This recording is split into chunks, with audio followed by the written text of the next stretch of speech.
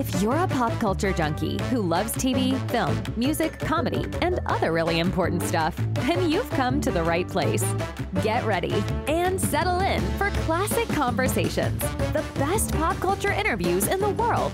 That's right, we circled the globe so you don't have to. If you're ready to be the king of the water cooler, then you're ready for Classic Conversations with your host, Jeff Dwoskin.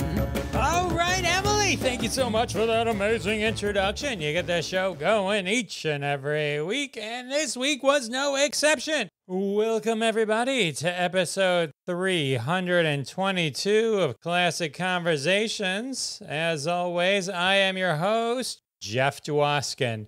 Welcome to what is sure to be the most out of control episode of all time. My guest today is none other than the amazing Ami Dolenz. Loved her in Can't Buy Me Love, General Hospital, She's Out of Control, and so much more. And that's coming up in just a few seconds. And in these few seconds, Joseph Culp, the original Doctor Doom from Roger Corman's unreleased Fantastic Four, was my guest last week. Check that out. That completed my trilogy of Doctor Doom, Sue Storm, and the original Mr. Fantastic, all from that legendary unreleased movie. But we're here to talk about released movies Miracle Beach, Pumpkinhead 2, Ticks. Oh, so much, so many stories. You're going to love my conversation with Ami Dolenz. Enjoy. All right, everyone, I'm excited to introduce my next guest actor, producer, artist, author. Loved her in Can't Buy Me Love. She's out of control, General Hospital, million other things. She ruled the 80s and the 90s. So excited to have on the show Ami Dolenz. Hey, Jeff. Thank you so much for having me. It's been a long time. We were almost did it, and then there was a strike. Uh, oh my goodness, this has been a long time coming. we're here. We did it. We're here. Yay. So excited. I've got tons of questions. I always do is I like I'll rewatch stuff. It's been an Ami Dolenz couple weeks as I watch some movies and TVs oh, and stuff like that. You're probably going to ask questions that I don't even remember. it's more just uh, it's kind of just you know get into my super fan mode. So no gotchas, and I'll give you time if if you need time to remember something. Ami, so you ruled the 80s and 90s, but before that, your parents both famous. When were you aware that your parents were famous? Oh, um, that's uh Okay, no, I do um kind of remember. I remember um I tell this story sometimes. My dad and mom got divorced when I was quite young. So my dad was a weekend dad. So he'd pick me up and we go ice skating. That was one of my favorite things to do. And of course, he'd get stopped all the time and recognized and autographs and pictures and stuff. And, you know, I'd, I'd get a little annoyed. I was about six, seven, maybe eight at a time around that, you know, period of time. And that's when I first started to notice that people would constantly come up and want to like talk to him and see him and stuff like that. But the funny thing is, is, you know, and then I was annoyed. So I had him dress up in, in a costume kind of, you know, the hat and glasses. And I tried to make him look different. And, you know, and then nobody recognized him. And I was, you know, that was kind of cool for two seconds. And then and then I said, you know, Dad, um, it's okay. You can take the costume off now. You can take the hat and the glasses and everything off because I was so used to the uh, you know, all the um, you know, all the attention that uh because I was so used to that that I wanted it back.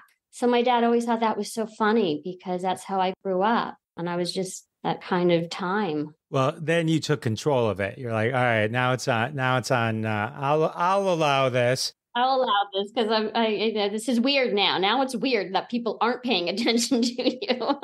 well, at the time, so if it's if you're six or seven, this is mid seventies, right? Yeah. So Monkees were probably at this point show was probably off about five years or so like that but like yeah, because I was born after the Monkees. So did you know your dad was a monkey? Like, did you uh, want like did, when people are coming up, they're like, "Oh, your dad's like this super famous TV guy and singer." the voice of the 60s basically you know it's like yeah i know people would say that all the time in school my teachers would be fans you know which was kind of weird teachers asked to get an autograph from my dad here's and bring your homework back. And by the way, can you like have him sign it? yeah. Oh, yeah. They put in a new policy. Uh, we Yeah. need the parents to autograph, prove that you saw it. Just uh, why? Why are you only saving Ami's? That's funny. So your teachers, it's funny because like when you think back, if- when you're that young, your teachers are young. So your teachers, you always think of teachers as being old, but when when you were like five, when you were six or seven, your teachers were probably in their early twenties. So they were Yeah. possibly in love with your dad, right? Or or Davy or Peter, Okay, one of the Monkees. one of the Monkees, right? Uh, have their favorites. You know, everybody does. oh, that is so funny. All right. So, and then your mom was also famous, British model, top of the pops. Is it Just? How do you say it? Is it French? Is it, how do you, Samantha? oh, Samantha Juste. Just. Oh, it, you know, I, I had to go fancy. I'm like, it can't be just. It can't, it can't be that easy. no, just Just. British. You know, there's got to be something in there. It's like, no, just, just. Okay. All right. So your famous parents, and then you growing up and you decide you want to act at some point, right? Mickey now, Mickey comes from a fame, your dad, I'm sorry, comes from famous family too. His dad and mom were also, yeah, third generation. they didn't necessarily take it to you wanting to be an actor. Yeah, my dad wanted me to do anything but act. anything but be in show business. But I was determined when I became a teenager. You know how teenagers are like, I want to do what I want to do. so I talked him into it and, you know, went, Daddy, I really, really, really, really want to do this. So I kind of went behind his back a little bit. Um, his best friend, I went to him and uh, I know he knew uh, agents and things like that. So I kind of, you know, went, yeah, can you help me out? And he's like, okay, but Dad, I'm gonna gonna have to tell your dad at some point. and we did, and he was fine with it eventually. So I got my way. As you usually do when it comes to my dad.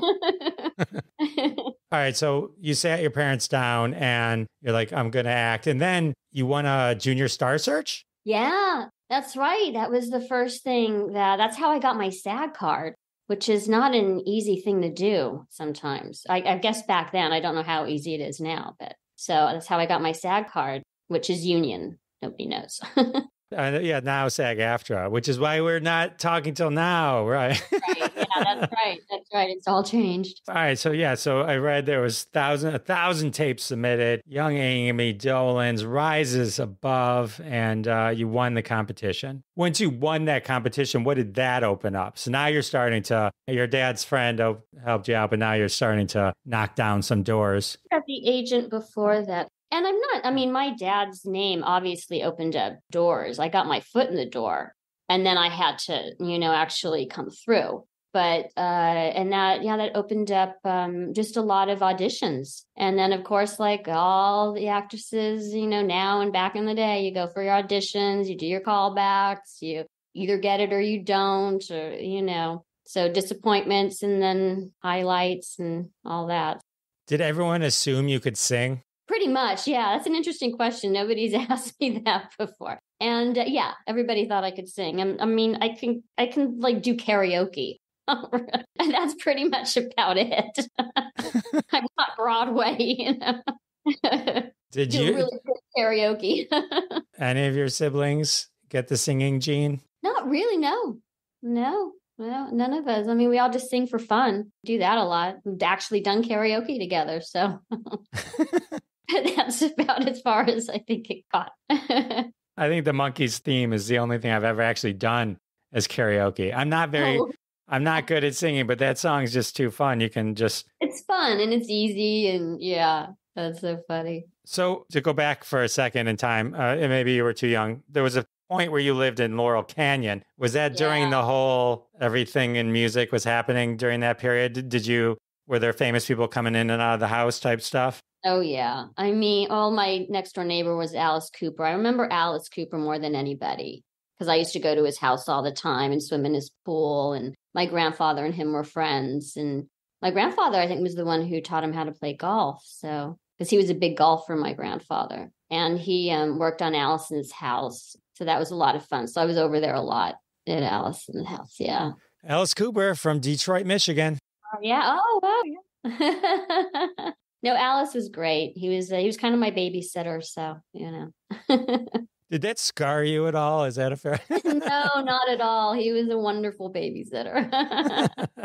he didn't wear the makeup while he was babysitting. No. I remember the first concert I think I ever went to was the Black Widow concert, and Alice, you know, I remember this so distinct. I must have been like six or something. For some reason, I remember backstage, and he was putting on his makeup, and he said, "You know, okay, Ami, now don't be scared." this is just me and it's still me. I'm just like have scary makeup on. I, I kind of remember this whole, you know, thing that so because he didn't want me to be scared. And I went to the concert and that was my first concert. It wasn't a Monkees concert, it was an Alice Cooper concert. My, my first concert with my parents. There's two first concerts I feel you always have. There's the one with your you go with your parents, and the one solo. The, yeah. the Barry Manilow parents.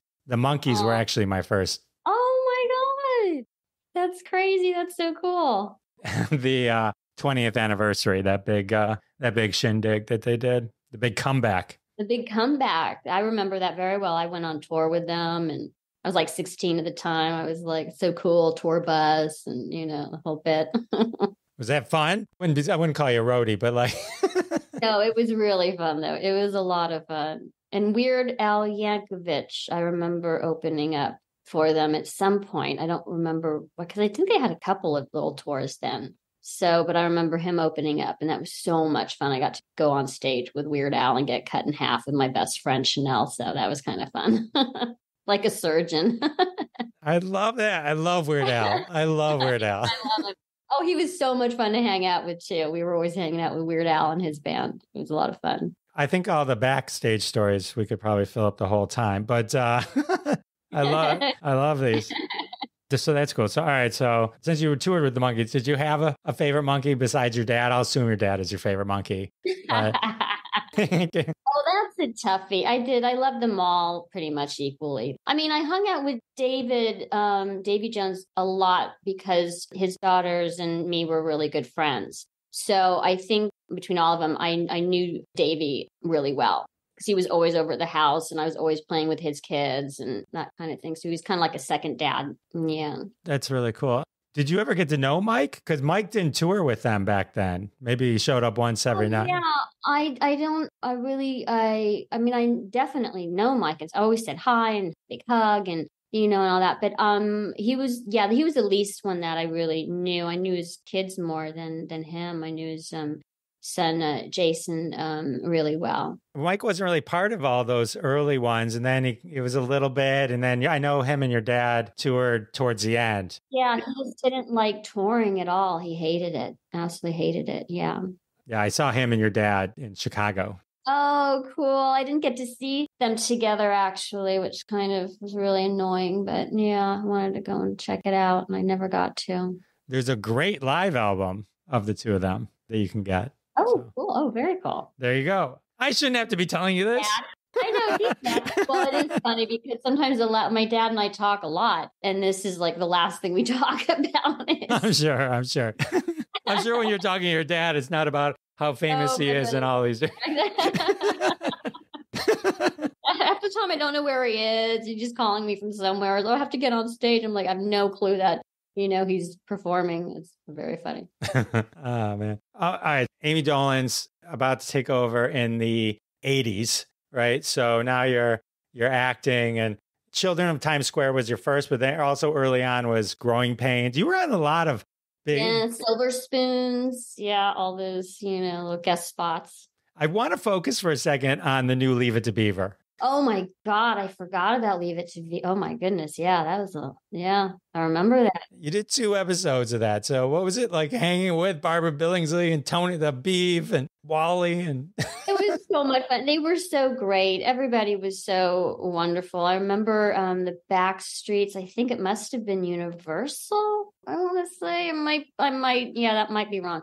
Um, but all the, you know, they have this whole street with all these, you know, like proper little homes and some of them aren't even real. They have just like the, you know, outer kind of shell. and then you walk back, looks kind of creepy. it's like nothing, you know, all this set stuff. Yeah, it was a, it was a lot of fun. It was just a great set.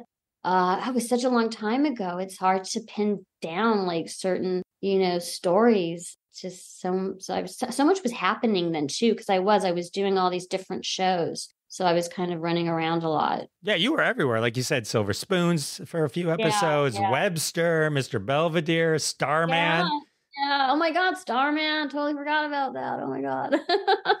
That's crazy. So, all right, let me ask you a question. Pivoting off the, oh, you know, the, I forgot about that type thing. Do you have copies of everything you've ever done? I mean, maybe at the time you didn't, but have you ever like gone, oh, here's everything I've done, or like, uh, you know, like, you know, I mean, like, I have clips of some things um, because you know you put together an acting reel and stuff like that. So I've done that. Well, not I don't have one anymore, but I used to, you know, put clips together and acting reels and stuff. But I think everything, probably not. I don't have everything. No, it's all just memories. No. get older, they seem to be drifting further and further away. So. it's interesting though with some of this new services, you could probably hunt down some of these things. I probably could actually. Yeah, I probably could. Definitely, definitely. That would be kind of fun. Yeah. For the Ami Dolenz Museum. Yeah. Uh, oh God. Uh, when you're doing all the TV, you then you got a, a movie role, right? Are you at this time always auditioning for TV and movie? Because now we got Can't Buy Me Love with McSte- uh, is it McDreamy or McSte- uh, Oh yeah. Oh, oh God, what was it? Yeah, he did have that nickname for a while. Patrick um, Dempsey was McDreamy. Yeah, I think it was Mc. Yeah, yeah, yeah. And I was reading for pretty much everything at that point. Yeah. Right, because you're everywhere. You have any memories of, of any stories from that movie? Oh, Can't Buy Me Love was a, a really because that was the first time I um, was actually I could go and I was I think it was Arizona and I was 18. I just turned 18, so um, I didn't have to have uh, a chaperone. So that was you know that was very exciting. I do remember that. I'm like my mom's not there, and yeah, that was a that was a lot of fun. Got to like go wild, out of control out of control. She's out of control. Uh, nope, that doesn't come till later. First, we have General Hospital. Yeah. And then you drop was... out of high school. Yeah, I did. I um well, I lived in Acapulco when I was younger, and they put me back a grade basically. So I was, I think, 18 in 11th grade. So I could drop out. And I was working on General Hospital. And I just decided to, you know, out there working. So see ya. I'm out of here. I got to go to work. Can't go to school. So. Do you regret dropping out? Yeah, not not really. I hated school in general, so I was not really, you know, a school person. Sometimes I do actually. I wouldn't recommend it to any anybody. I, I think you know, stick with it. I wish I had stuck with it sometimes.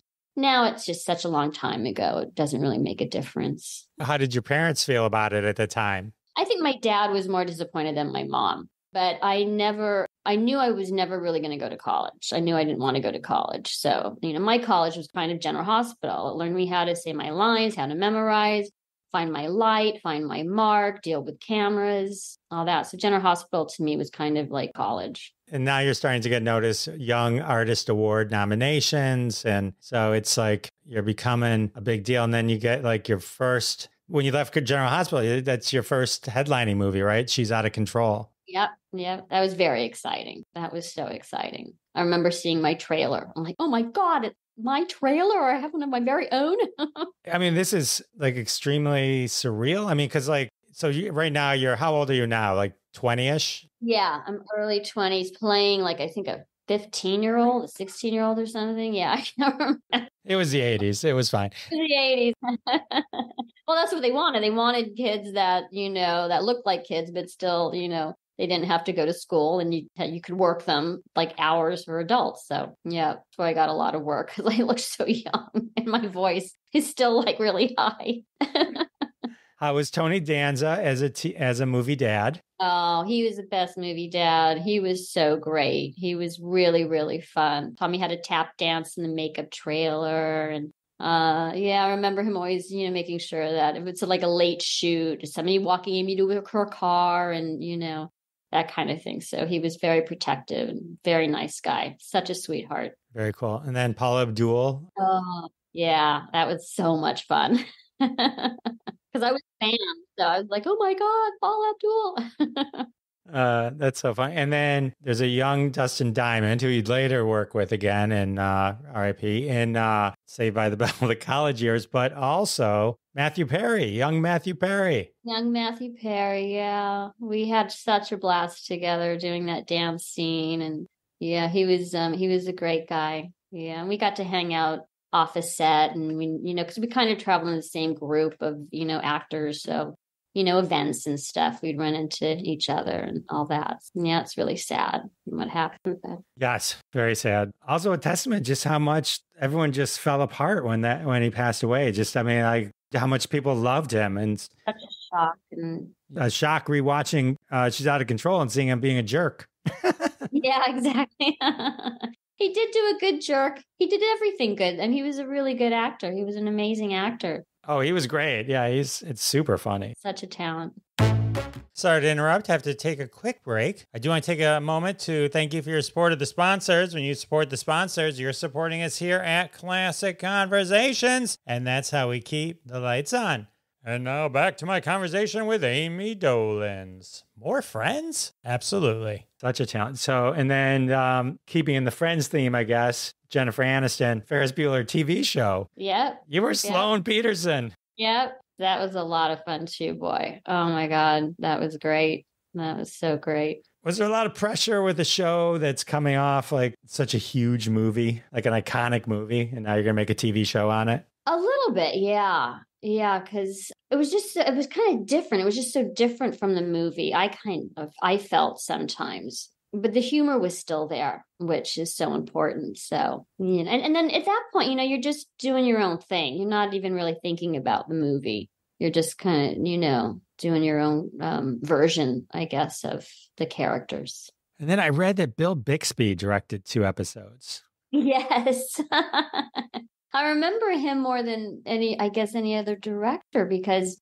he was Bill Bixby. So, and I used to watch, you know, the Hulk and stuff. So it's like that was very, that was very exciting to work with him. I can imagine it would be amazing. I think he went on to also direct a lot of, um, what was that show? She was from on the Big Bang Theory also. Um, uh, anyway, Blossom. Blossom. Yes. Blossom. Bill Bixby directed a lot of Blossom episodes. Oh, I didn't know that. okay. Oh, I hear what you, yeah, Blossom. There you go. Thank you. Usually these things pop. I just I didn't even think about it. And Usually I'm the one who can't remember. So we're a good team. We're a good team. Yeah, exactly. Did Bill Bixby talk about like any of the classic things he was doing, or is he just direct and go do your? No, he was he was a very serious um, director. He was very focused. He never talked about you know, at least not to me. And I don't think I even asked. I, I was, you know, I didn't want to like be like, oh my god, so what was like that? No one was like, "Don't make him angry." Am I right? All right. Don't make him angry. Don't make him angry. Because then after that, I did a, some signings um, with. Um, okay, now I'm blanking. The Hulk, the actually Lou Ferrigno. Uh, Lou Ferrigno, yeah, who's a, such a sweet guy, very nice guy. So I got to meet him after I met Bill Bixby. There you go, the whole cast. All right, so you you got to work with Jennifer Aniston and Matthew Perry just before yeah before they blew up on Friends. Yep. Yep. All right. So then we're getting into the 90s. Miracle Beach, Jeannie named, oh, played a yeah. genie named Jeannie. Very fun to play a genie. You know, so whimsical. Pat Morita, young Dean Cain. Yep. I say young, it's just because I'm watching it now from my eyes now. It was just, uh, it was uh, Martin Mull, Dean Cameron. Can you explain to me? Because I'm sitting there reading about it. It's like released overseas as Hard Bodies 2. Like, what was that all about? Like, does any, do you even know? It just seems oh. so weird. Well, I think because there were two versions. I never saw the other version, but I think there was one version where they did have some topless girls in it. So maybe that had something to do with it, mm. I hmm. guess. Yeah, because I do remember that there were two kind of separate versions. Not quite sure why. I guess to sell, you know, overseas more, you know, nudity. I wasn't in any of those scenes, so I, I assume that's what it was about. yes, I read your anti nudity or like your own nudity, which is probably ends up being ends up being a good thing. Yeah, everybody. Yeah, I just didn't want to do it. I just didn't want to do it myself, so I just, you know. But I'm totally cool with it. I'm just shy. I'm an actress, but I'm shy, or used to be an actress.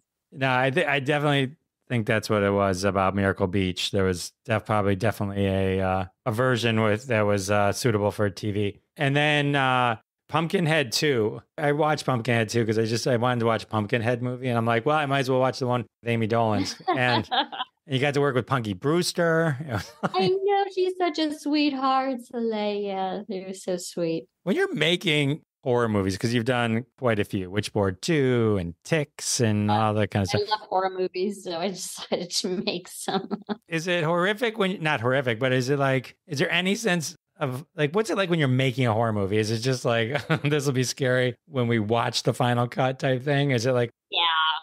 Oh, uh, definitely. Yeah, because you're having, you know, lunch with people that have, you know, have um, you know, stakes through their bellies and, you know, dripping blood off their face and they're eating ribs, you know, or something. So it's just kind of, it's not really that scary when you're actually making one. Because a lot of like cut, stop, okay, reset. Where's the zombie juice? so when you're making like one of these types of movies, then you really don't know what it's going to be until you see that final. Oh, definitely yeah well you need the special effects and you know and all that then it's you know and it's kind of shocking because then it's like oh my god it looks so much better than you thought it would. Do you watch all your movies? Have you seen is there any movies of yours that you haven't seen? Um i eventually watched i think all of them. Um, but I hate watching myself, and a lot of actors and a lot of actors are like that. They don't like seeing this. some do, and then some don't. I'm one that I hate watching myself, so I try to avoid it as much as possible. it's hard. I get it. You know, because you're just you're like, oh, why did I do that? Or I wish yeah, I should. Why did I do that differently?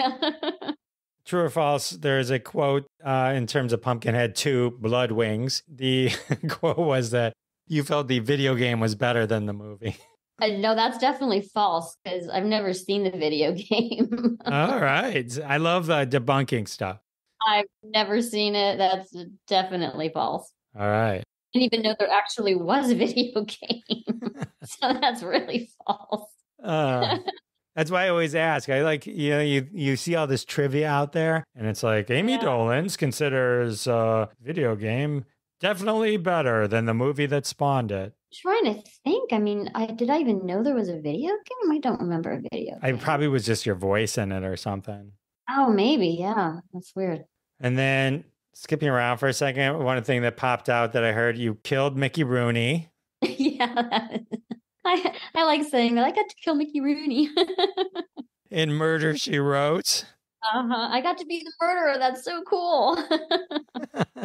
I met Mickey Rooney once just for a half a second. He was in Detroit. Uh, I shook his hand. I said, Hello, Mr. Rooney. That's just funny. It's just classic. You were in a TV show Superboy, which I forgot there even was a Superboy, but I remembered when when I saw when I saw it on your thing. I was like, Oh yeah. And then you got to hang with Zach Morris. Yep, yep. You've done it all. That was fun. I got to play um uh actually I got to play a singer. so I got to pretend to be on stage and singing and it was definitely not me singing. All lip sync. but that was kind of fun because I got to play superstar for a minute. That's awesome. I was so into Saved by the Bell and all that back then. It was Oh my god, yeah. Talk to me about the Coreys. You did a couple of things with Corey Haim, I know.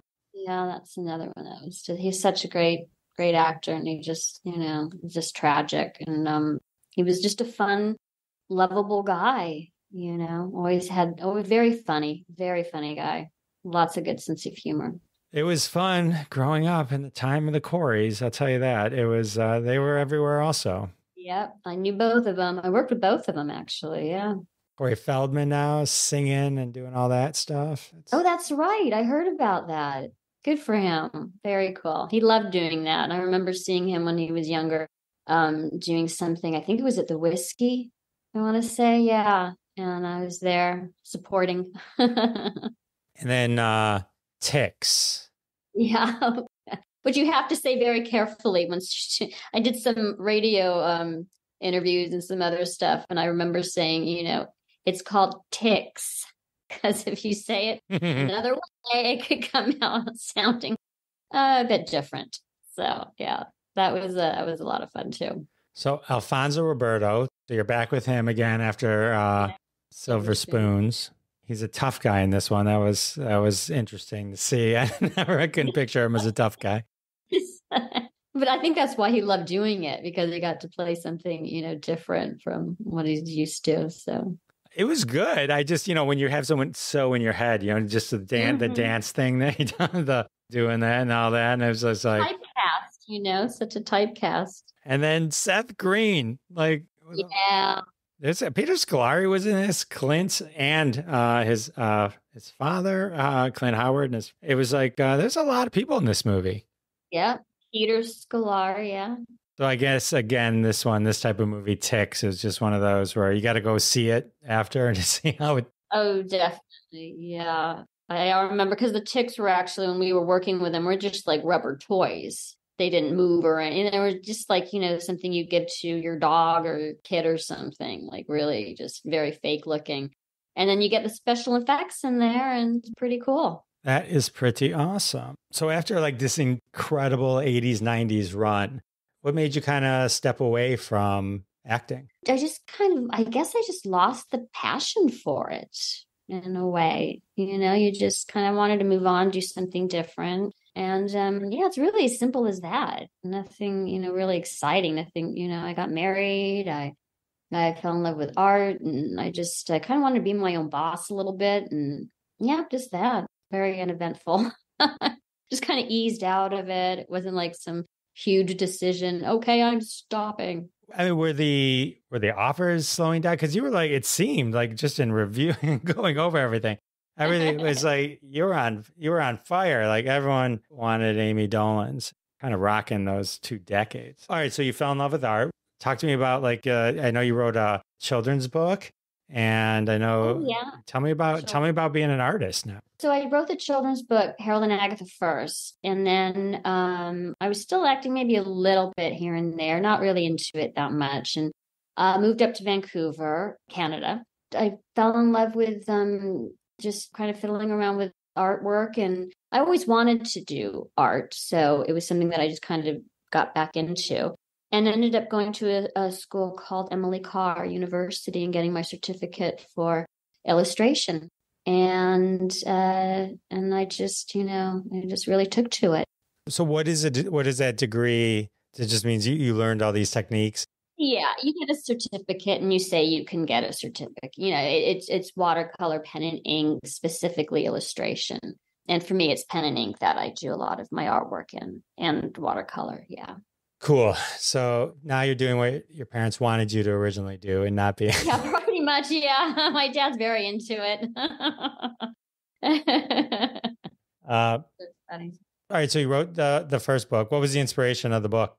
Uh, the inspiration for that was actually from my dad as well. Um, he, uh, uh, when my parents broke up, my mother ended up eventually going to England and we lived there for a little while, but then we moved back. And then my dad ended up going to England and living in England. So I would go for my summers and, you know, about three months um, every year and spend time with my dad. And he'd come back and forth a lot too. But in the beginning, uh, he would start a Harold and Agatha story. And so it's just the story that he would tell me every night before bed. And then by the end of the trip, he'd finish it. So we'd go to the airport, and that would be the end of the Harold and Agatha story. So that's how that came about. I just remember all these stories of um, Harold and Agatha. I don't know how he came up with the names or anything, but and uh, yeah, so I wanted to write it down and document. that's really cool. So... Father daughter kind of thing. Do you miss uh, acting? Do you ever think about going back into that world? Occasionally, I do. I guess I um. God, what do I? I mean, I certainly don't miss all the auditioning and the lugging and do I get it? You know, do I didn't get, you know.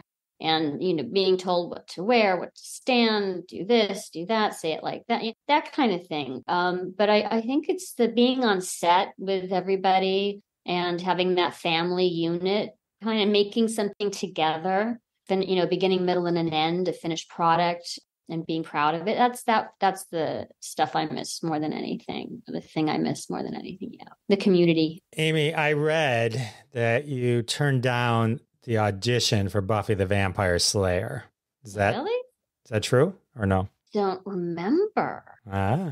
Honestly i don't remember that. Well there were so many auditions and stuff well, that would be one you would remember, I'd imagine, since it became. I would like, imagine so, yeah. All right, I'm debunking left and right. I don't remember reading for it, so maybe I did. Like honestly, I don't remember. That's weird. it was such a long time ago. Oh. it's all good. Getting things now. So, Ami, what would you can go deep cut, or you can go, uh, you can pick anything. But like, what would you say if someone were to like just discover Ami Dolenz and you were like, oh, these are the three things of mine you need to watch? what would you recommend? What would be the, your Ami Dolenz starter kit? Oh, whoa. God, that's a, um, oh, well, I guess she's out of control because that was the one that, it was just such a fun character. It was, you know, going from this ugly duckling kind of, you know, it had such a great arc um, there. So that was a lot of fun. And I guess Miracle Beach, because I mean, I got to play a genie. How fun was that? and I just had such a great time with that that part. God, the third. Um, that's a uh, that's a toughie. Probably one of the scary movies. Um, Ticks. Maybe probably Ticks because I got to play such a bitch. That was kind of fun. Can I say that? of course, of course. But I think Ticks, yeah, because that was a fun part because I got to play all bitchy. Mm. All right, and then we'll put as a runner-up killing Mickey Rooney. Yeah, exactly. Murder She Wrote. Because Again, I got to play a murderer, so fun, fun. And I think Witchboard 2 was also because that was really because I got to be possessed. All that. That was probably for scary movies. That would have been a good one too. I love that one. So you just love scary movies. You play is this is Halloween Huge. at Ami Dolenz's house a big deal? I mean, it must be, oh, right? Oh yeah. I love Halloween. so the big question is on the TV, do we have Witchboard 2, Pumpkinhead 2, Ticks, these all running in rotation on Halloween as people come by. Uh, we did that a couple of times here in Vancouver because I'm passing out candy to kids, and so I have had friends over, and I just you know in the background we'd have Halloween music playing, but then on the TV we'd have like scary movies. So, and my husband, of course, he's like, "We got to put one of yours on. We got to put one of yours on." So we did. it should be only Ami Dolenz movies, yeah. scary movies. It's. Uh, it's your it's your holiday. It's your holiday. Uh, let's end with uh, what, what's do you have a favorite Monkees song? Yeah, uh, Stepping Stone. That's a good one. I love Stepping That's Stone. My favorite. yeah. Uh, not your stepping stone. there you go. You have a voice of an angel. Very cool. This was awesome. Ami, thank you for hanging out with me. So much fun. Thank you so much for having me. I'm so happy we got it together. Yay. Yay. awesome. Is there anywhere that people can keep up with you on the socials or online or you selling your art? amydolenzart.com and um, everything's going to pretty much be there. So looking forward to that. Amazing. I will put a link in the show notes so everyone can uh, get all of your awesome art. Everyone should uh, start hunting down all the Ami Dolenz goodness that, that we talked about. So sweet. Thank you so oh, much. Thank you so much. All right. How amazing was Ami Dolenz? What is your favorite Ami Dolenz classic? Tweet at me, hashtag me, whatever. You know, you know the drill. What's your favorite Monkees song? Just curious. Special shout out to Jeff Raymond, the biggest Ami Dolenz fan in the world. Well, with the interview over, it can only mean one thing. I know another episode has come to an end. I do want to thank Ami Dolenz one more time for being awesome. And I do want to thank all of you for coming back week after week. It means the world to me. And I'll see you next time. Thanks so much for listening to this episode of Classic Conversations. If you like what you heard, don't be shy and give us a follow on your favorite podcast app. Also, why not go ahead and tell all your friends about the show? You strike us as the kind of person that people listen to. Thanks in advance for spreading the word, and we'll catch you next time on Classic Conversations.